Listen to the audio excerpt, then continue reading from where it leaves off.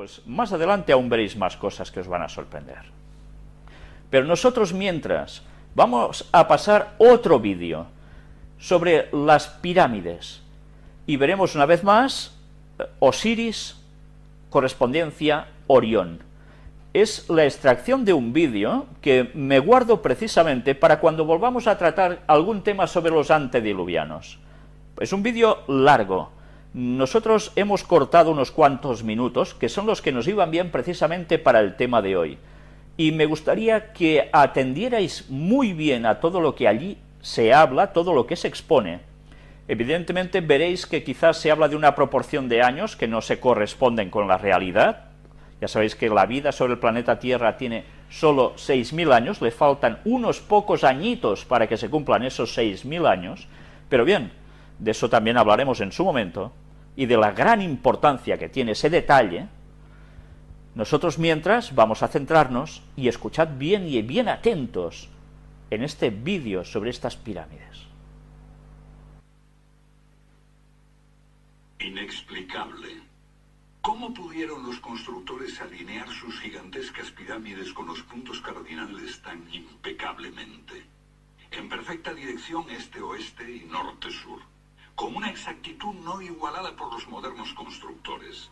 La Gran Pirámide parece ser un modelo matemático del hemisferio norte e incorpora el trascendental valor de pi, las veces que cabe el diámetro de un círculo en su circunferencia.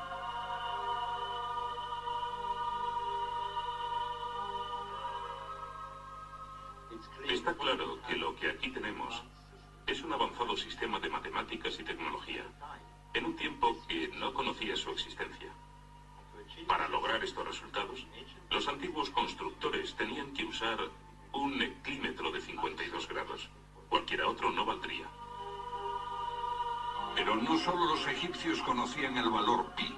Ese valor también está representado en la pendiente de esta pirámide y en el extraño ángulo que le dieron sus constructores, en Teotihuacán, México, el lugar que los indios llamaban ciudad de los dioses.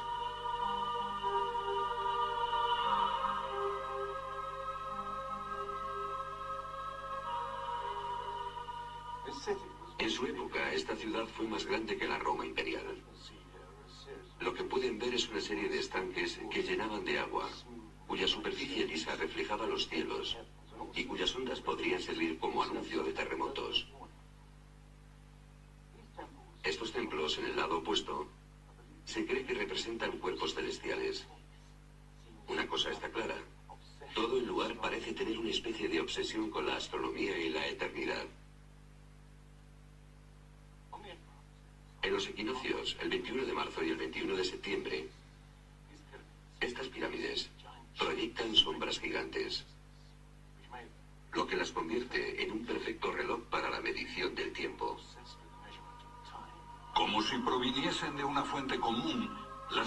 Civilizaciones de todo el mundo exhiben un sofisticado conocimiento de los cielos que todavía nadie ha explicado.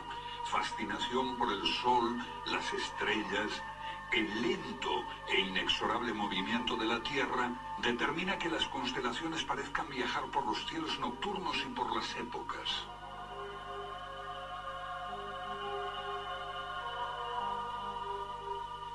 Según los estudiosos, los antiguos egipcios no tenían un gran conocimiento de la astronomía. Pero en el templo de Dendera hay muestras de su sofisticado conocimiento del cielo. Miren las constelaciones del zodíaco, Leo, Tauro, Piscis. Y aquí, la constelación de Orión. Boval cree que la astronomía es la llave de muchos misterios de las pirámides. Los antiguos egipcios veían en la constelación de Orión a su dios Osiris, señor de los muertos y la vida ultraterrena. Boval halló el reflejo de ese dios en las pirámides de Gizeh.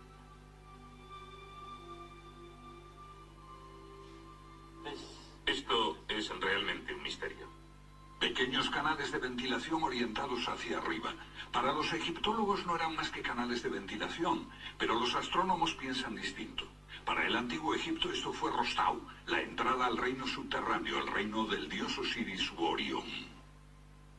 Para los antiguos egipcios, Orión era Osiris, el gran dios de la resurrección. Esto es una reconstrucción del cielo en el año 2500 a.C. y fue sorprendente descubrirlo. Canales apuntan a Orión y a la estrella Sirio, que era Isis, la esposa de Osiris. En textos antiguos, Bobal descubrió que deben de haberle servido una ceremonia secreta para la resurrección de los faraones muertos, que renacían como estrellas en la constelación de Orión. Uno de esos textos dice, Oh rey, permite que atraviese el serpenteante canal, la Vía Láctea, hasta el punto donde está Cree que Osiris tenía tal importancia que los constructores emplazaron las tres pirámides de Gizeh para que fueran un reflejo terrestre de las tres estrellas del cinturón de Orión. Esa correlación fue solo el comienzo. Bobal descubrió que los antiguos habían dado nombre de estrellas a otras dos pirámides próximas. Esto le hizo entrever un plan más amplio y quedó perplejo. La constelación de Orión, el dios Osiris, estaba en el cielo y en la tierra.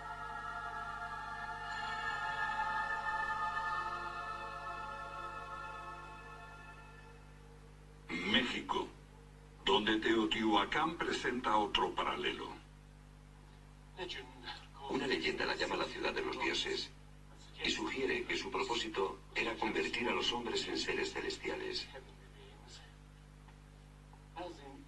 Como ocurre en Egipto con las pirámides de Giza, los mitos hablan de la reencarnación en las estrellas.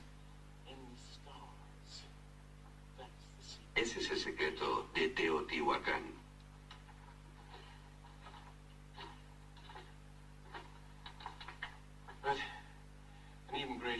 Pero esta pirámide presenta otro enigma mayor. Cuando se excavó por primera vez en 1906, se halló una enorme capa de mica. Ahora sabemos que la mica se usa como aislamiento eléctrico. No tenemos idea de para qué la utilizaban ellos. Lo que resulta aún más extraño es que la mica procede de Brasil. Imaginemos el problema de trasladar toda esta mica a más de 2.000 kilómetros de distancia. ¿Cómo? ¿Con qué finalidad? No tenemos ni idea. Tiahuanaco, Bolivia.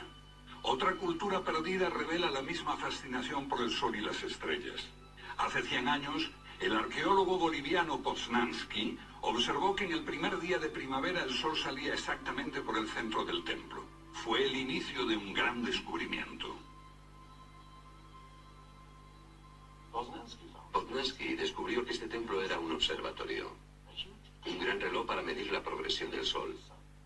Y podemos utilizar ese alineamiento astronómico para datar el lugar. Durante el año el Sol sale cada día por un punto diferente del horizonte. El primer día de primavera un observador vería salir el Sol exactamente en el centro. Estudiando el esquema de Poznansky, dedujimos que en los primeros días de invierno o de verano, el Sol saldría por encima de las piedras angulares.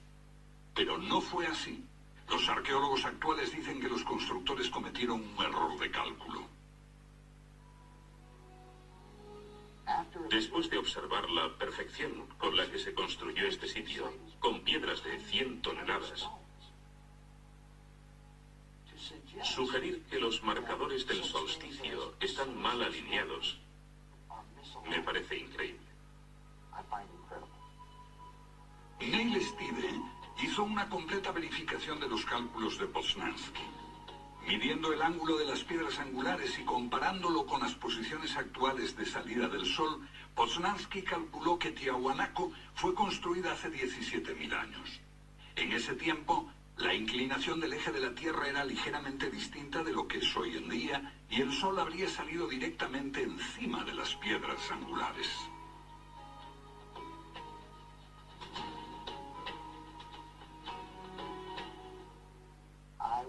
Sospecho que la fecha sería más bien de 12.000 años.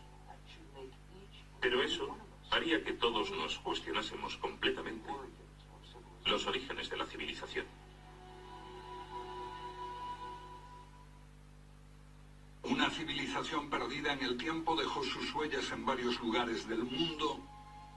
Los sacerdotes egipcios dijeron al filósofo griego Platón que una civilización así habría existido hace 12.000 años.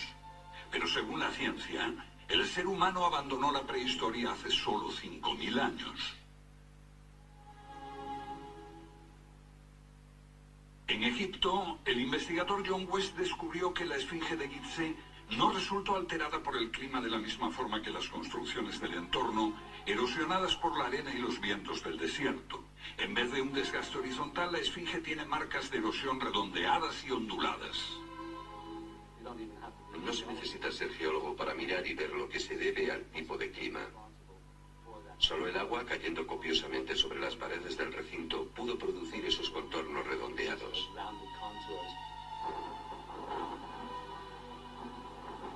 ¿Agua en el desierto del Sáhara?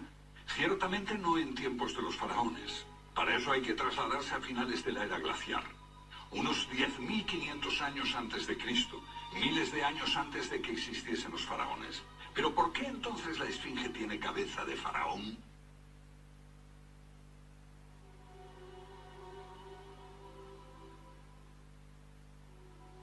La cabeza es desproporcionadamente pequeña.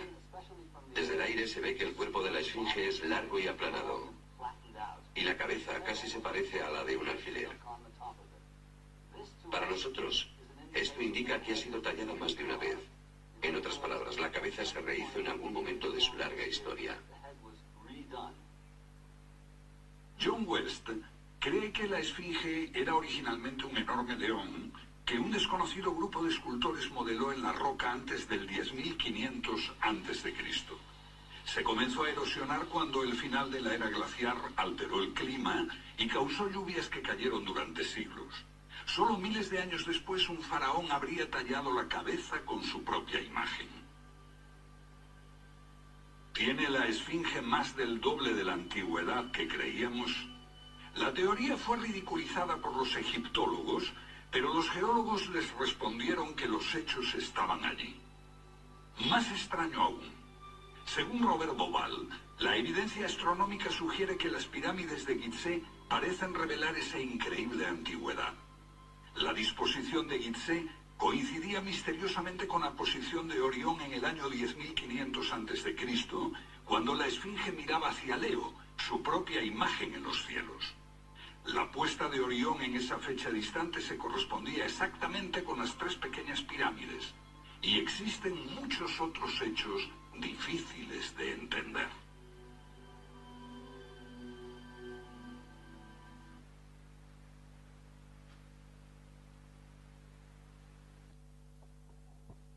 Bueno, eh, como podéis ver, no soy Víctor. Soy Ángel, estoy acompañando en la grabación de hoy. Como habéis podido ver, em, esa increíble relación cielo-tierra y cómo, eh, sobre todo, ver cómo lo perdidos que van los científicos con el tema de los años. Lo que, me ha, lo que me ha gustado mucho de este documental es cómo ellos mismos reconocen eh, que realmente no saben por qué eh, pasa lo que pasa. Llegan a un punto de no retorno en el que no pueden explicar ciertas cosas. Cuando lo único que tienen que hacer es meter en la ecuación a Dios, meter en la ecuación la Biblia, el relato bíblico, el diluvio, y entonces ahí es cuando todo cuadra, es cuando se abren todas las puertas. Eh, como resumen, pues bueno, quedaros con eh, los orificios, eh, en teoría eran de ventilación de esta, de esta pirámide, la gran pirámide, y cómo van dirigidos a Osiris y a Sirius. también vemos cómo ellos han calculado en qué época esa, esa constelación coincidiría con la situación de la